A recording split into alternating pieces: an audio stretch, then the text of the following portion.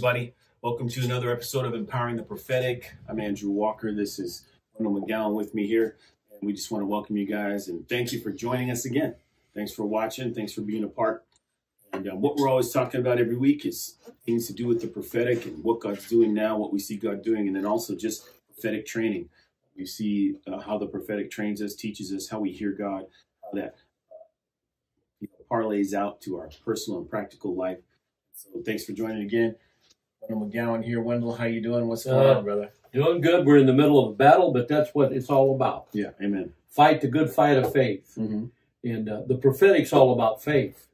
It's not about how you can tell somebody's future or be a fortune teller. It's about faith. Mm-hmm. So why we spend so much time on the prophetic is because it's what is the very foundation of Christianity, Mm-hmm. of our walk with Jesus is faith.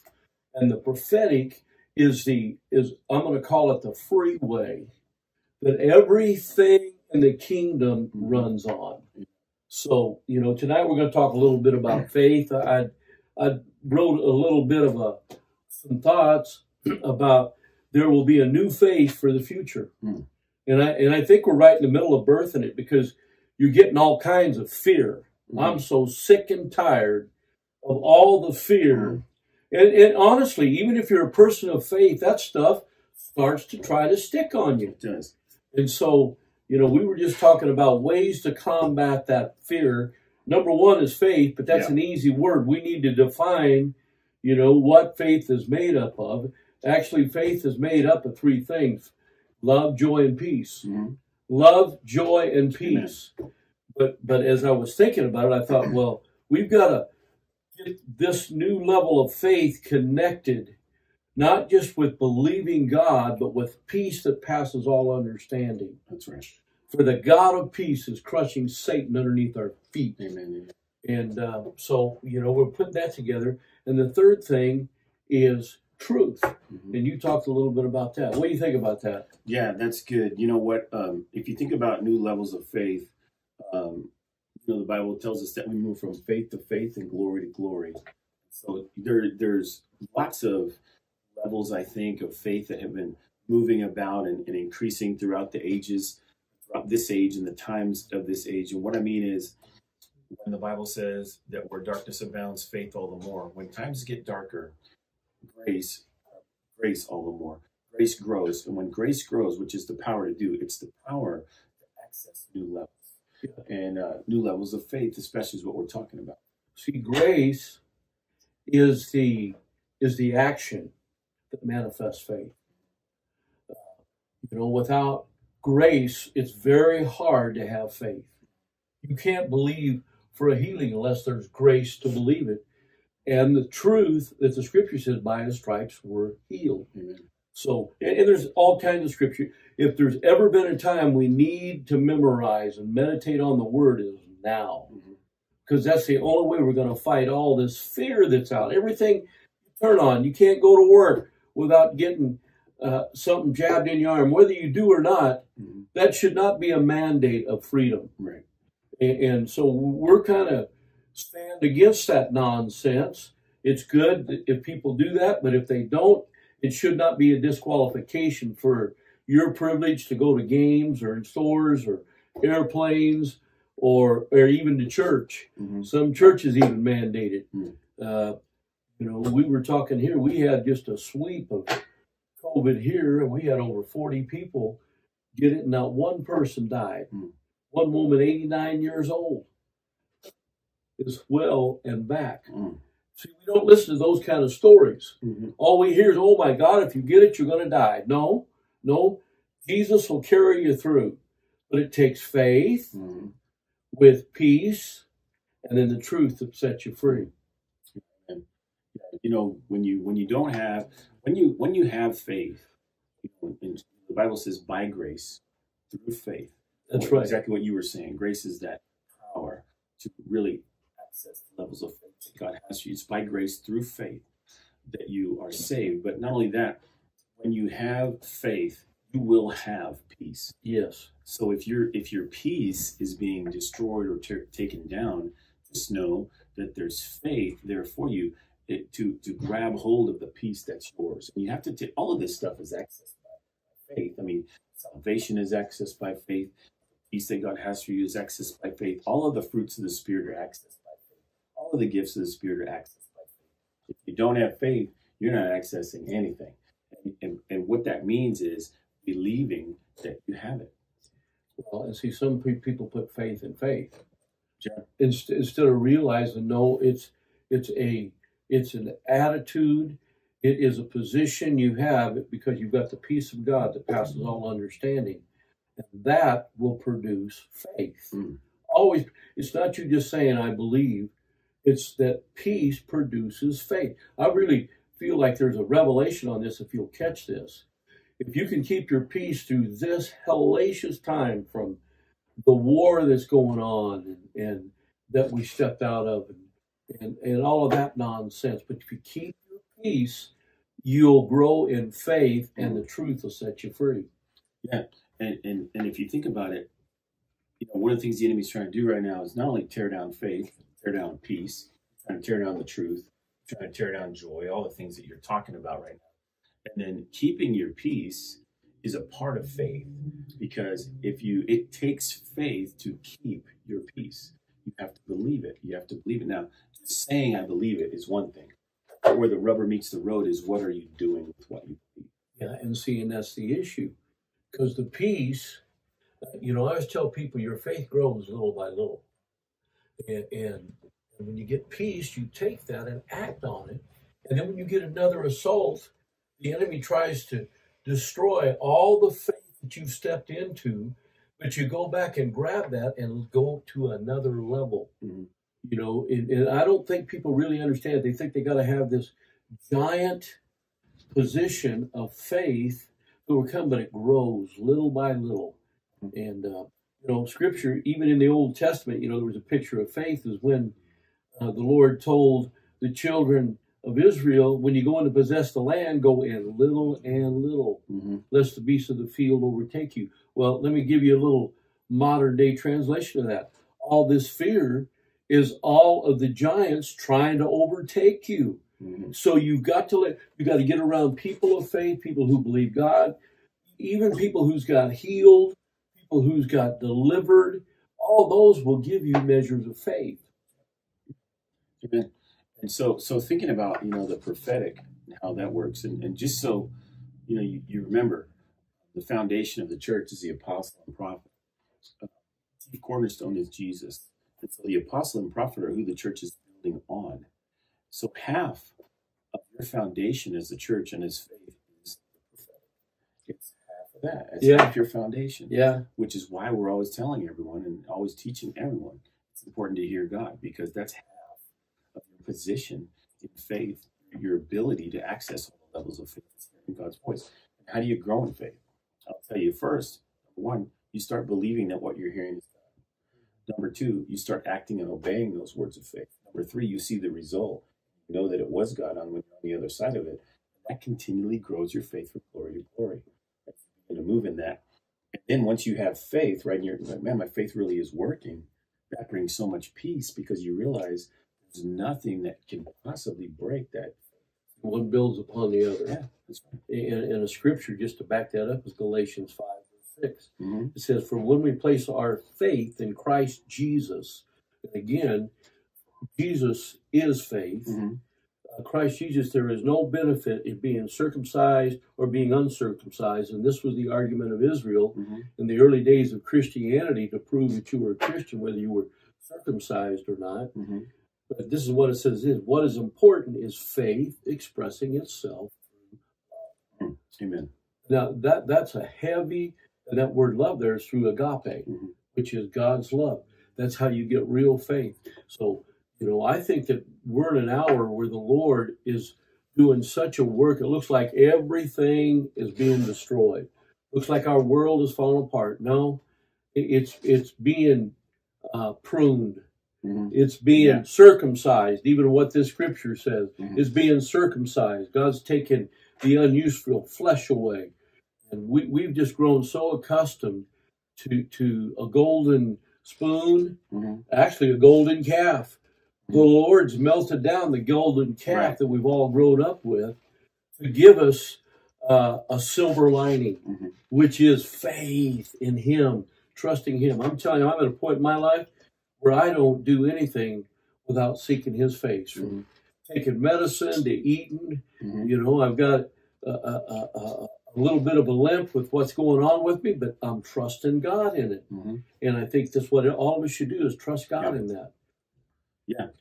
Um, you know, freedom, thinking about freedom, and what freedom means and what it costs. You know. Uh, the Bible says that he whom the Son sets free is free indeed. Freedom is something that Christ paid his life for. He laid his life down for it. Uh, you know, so when you think about your freedom being stolen, or your freedoms being trampled upon, you've got to understand how important freedom is and how important it is to have. Because Jesus paid for that freedom for us. And he is not going to give up on that. He's not Mhm. going to let that stuff go. And we got to do the same. Listen to this right there in Galatians. It says, For you are called to freedom, brothers and sisters. Do not turn your freedom into an opportunity for the flesh. But serve one another through love. That's what we've done Yeah, in America. yeah, exactly. And and so so look, don't don't give your freedoms up. I mean, it, don't don't do that. Don't just trade it in for something that people are telling you that you need to do that you know the Bible is directly against. There's absolutely no reason to do that. But stand firm, stand firm. And um, you know, there's things that we can do to make sure everybody is.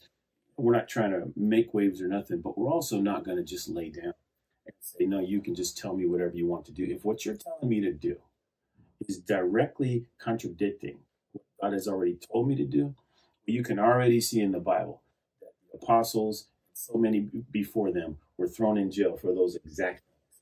And they said, listen, you can tell us what you want, but God's already spoken to us. You got to do what He says, not what you say. Exactly. And faith, this new kind of faith, will create dreams that'll become realities. Mm. A- And sometimes we've dreamed and wonder what's going on. It's because God was waiting to give us the, I'm just going to call it the content of a new kingdom level of faith. Not the faith of our past or what we've had in the past is Mhm. different. Right. But like you quoted, faith, we go from faith to faith and glory to glory. We've quoted that scripture, but not really understood it. And we're in an hour where that's happening. And even a, a, a, a- a scripture that backs that up is Acts 2.17. And it says, in the last days, everybody says this is the end. No, it's not the end. We're in the last days, which means God's going to clean this thing up Mm. so we can be the bride without spot, wrinkle, or blemish to bring the greatest harvest the world's ever seen. It looks like they're trying to shut down churches. Churches are shutting down because you can't come in if you don't have a mask or you haven't been jabbed. Give me a break. The church is a place where, where the life of God prospers. Not to say you shouldn't, you know, be, be careful and listen to your own conscience, but, but personally, we just don't let the government dictate where our freedom lies. We, who the Son sets free, is free indeed. Let me finish the scripture. I will pour out my spirit upon all people. Your sons and daughters will prophesy, your young men will see visions, and your old men will dream dreams. Come on. So there's the new dreams. In those days I will pour out my spirit even on my servants, men and women alike, and they will prophesy. Come on. Amen. Come on, how much better do you need to know about prophecy than that scripture right there? Amen. Come on. and what faith is. Because faith is the substance of things hoped for, the evidence of things seen. That's what we've always said. But it, we've never understood that the definition of faith is love, joy, and peace. Mhm. Yeah, I kind of said it all there, didn't I? Amen. That's a good one. I mean, if you think about that, there they are just quoting Joel chapter 2. Yeah, And so that was God's promise in the Old Testament that manifested itself in the In- book of Acts, which we live in that covenant today, and that age is now. Um, and then, and, and so that's for you, you know, the prophetic, prophesying, learning to do that, uh, hearing God's uh, prophecy and, and moving in the prophetic, learning to prophesy, even moving into an office prophet uh, position that God may call someone to, all starts learning to hear God. yeah, yeah. And so you have to be in a culture where they believe that. And truthfully, if you don't have a culture of the prophetic, it's hard for the corporate body to hear God because all they think that they can hear God from is from the man who stands behind Mhm. the pulpit. And, and certainly they should have the word of the Lord. They should be giving courage and, and understanding. But everyone who sits in a chair, everyone has a prophecy, has a song and a hymn. Mhm. And we need to start building the church that way. We recognize that it sits and dances within the congregation. And uh, I'll tell you, this is a season where this faith is going to produce the healing of broken relationships Mhm. that'll be mended. Amen. Um, you believe that? I do believe that. Look at that. Uh, go to go to uh, Mount. Go to these right here that you got, and I'll, uh, we'll talk about that. Broken relationships that will be mended. If you think about that, um, how everything going on right now in the world has just it's really divided everybody right down the middle. You're either black, you're white. I mean? It's just one or the other. It's a black and white thing now. It has no. There's no shades of gray. There's no middle ground. You're either this way or that way. And it's being separated like that because that's what the Bible says. The wheat and the tares, they'll come up together, and God's going to separate those things down the middle. What we got to do is realize there's so many that we have prayed for, our parents have prayed for, our grandparents have prayed for, that are in our families that need to come to the Lord. And so don't give up praying for them, prophesying over them, declaring what God's going to do in their lives. And get those relationships mended and repaired you know, God's just going to start to move in Yeah. a way like we've never seen. You're going to see revival start to break out, even an awakening. I mean, you might, we might see an awakening I level think we're going to see an awakening. and, and, and where it's just going to move across, um, at least this nation for sure, and around the world. But you, you're going to see a, a dropping of the Spirit of God, a move of the Spirit that's so big that you will see relationships that you thought never could be fixed. Yeah, it's the end of what we used to know, but it's the beginning of something new. Mm. And is not done with this nation or this people or his church. Amen. He's just reshaping us. He's pruning us. He's getting us ready to carry the weight of his glory like we've never seen. And, and so that's why we got to mend our relationships with people because some of those people you got uh, issues with are carrying a piece of the treasure Mm. for what we're going to need Mm. A- and and it will be like shocking what happens because the enemy set all this up. The enemy's the one who divides. He's the one who's divided our nation, black and white, men and women. People don't even know what. Uh, I'm sorry, what gender they are. You're born the way God made you, and this may upset somebody, but God made you a man or a woman. You may It's have true. different characteristics, but quit trying to be something that you're not, or because we can scientifically do it. That's just Yeah. not, you know, that's one of the reasons why the Lord tore down the Tower of Babel because they thought they were so smart they could just go to heaven. Mm. That's kind of what's going on with us. Is scientifically we're changing people's identity and their genders and doing all kinds of crazy Mm. stuff, and we need to quit. Well, I'm not going to get on too Well, you know what? soapbox. Just just what you're saying there, though, when when people do that and they go into that mutilating of who they are, not only spiritually and mentally but physically, Mm-hmm. it will bring you absolutely no relief Mm-mm. to the core reason of what's. Not only will it not bring you relief, it's going to take you into a place of your life that's going to be the worst, most destructive, most. Uh, and, I've worked with these folks, and here's what they will say to me: "This is the nastiest thing I've ever been involved." in." And that's the truth, because the truth will set you free. So if you're struggling with those kinds of things, don't listen to that nonsense the enemy's speaking to you. Remember, the only answer is Jesus Christ. That's That's it. right. He's the only one who can ever give you what you're looking for. No person, no man, no woman, no thing can ever do it. Mm-mm, no, and we need to accept who we are. See, it's it's just like a direct violation against our Creator, and He created us to be who we are. And, and you know, it's time that we started standing up and saying how it is. We love everyone. We love the people who, you know, people who've gone through change. They had a little bit of self gratification for a season, but after a while, Yeah. you, you know, they're they're still the same issues there, even though they they Yeah. they switch things. So again, I'm, we're not against those. We love everyone, but the bottom line is start accepting who you are because God made you a peculiar person. Yeah. And uh, Get to know who God's created you to be, yeah, um, because that's the only answer. And here's the thing: here's what the world wants us to all do. He wants us just to hold the door open as all these folks run into a burning, collapsing building. That's what the world wants us to oh, do. that is exactly what's going on and right say, now. no, just go in. It's all good.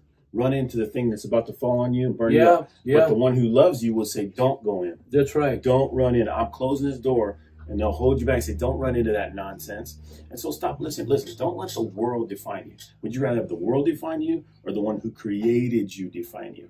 You know, there's a big difference. The world wants to define you until you let the Creator show you who's the only one who knows who you are and who you're created to be. And the truth is, we just got to start speaking the truth. That's what's going on with our nation. So We we're got- doing right now. That's what we're, doing, right now. I'm telling you the truth. Some might, might be up. getting upset, but you know what? We love you, and we are not going to reject anyone, no matter what you've done or where you come no matter from. what. Whether you're male, or female, black or white, you've been jabbed or not jabbed, it doesn't make any difference to us. So it, it, it, it's because we got all kinds in this house. Yeah, we got everybody. We got every we got every multicultural person here. But but I, I I tell you, I'm just reminded of the scripture in Luke 117. The Lord will reveal himself. He will be the man with the spirit and power of Elijah. Come on. He's talking about the prophetic people that's going to rise up. He will be a man with the spirit and power of Elijah. He will prepare the people for the coming of the Lord. He will turn the hearts of the fathers to the children, and he will cause those who are rebellious to accept the wisdom of the godly. Now, this is talking about the very thing we're talking That's about. good. This is a direct quote He from the. will cause. That's right, That's pretty big. and it's a direct quote from the last scripture in the Old Testament. Uh-huh. Was the bridge into the New Testament? So we're we're just telling you, quit trying to discover something that you're not. Come on. Quit just because we've got the scientific ability or we've got we've got a law. Laws, there's God's law and there's man's law. I'm gonna obey God's law. Come on. And God's law said says, you know, let a man be who he is and a woman be who she is, and we're gonna learn how to be accepted of the beloved. I mean, we're in the greatest moment of history, even though it looks like everything's fallen down. Mm. You turn on the news, it- it's just absolutely heartbreaking. But you got to keep your focus on the Word and the promises of God, the things that God's Amen. done, and hang out with people who believe like you Come do. on, amen. Don't hang out with a bunch of people who's just a bunch of compromisers and trying just to fit in. We don't need to fit in. We are the model. We are the on, ones that's on. supposed to be the standard bearers for who God is, what He's going to do. I tell you, we're going to see an awakening in this nation. We're going to quit killing babies. We're going to quit changing identity. We're going to quit doing a lot of things. I don't know how that's going to happen because it looks like, boy, we're at the end. But I'm telling you, we're at the end of to, to do the beginning. We're in the beginning of something new and fresh. This is the new faith. Faith and peace and truth is what we're working on right now. Somebody's got to tear down the altars in the high places. Uh, Why not us? That's it. That's it. That's it. Amen, man. Yeah. Should we let them go? Yeah, let's let them go. We We love- messed them up We love you guys. Uh, you know, share this with anybody that you feel might want to hear it or listen to it, and um, you know, be blessed. We're praying that God's peace is with you, that you're you're growing in faith, and that the goodness of God is all over you. Thanks for watching, and we'll see you next week.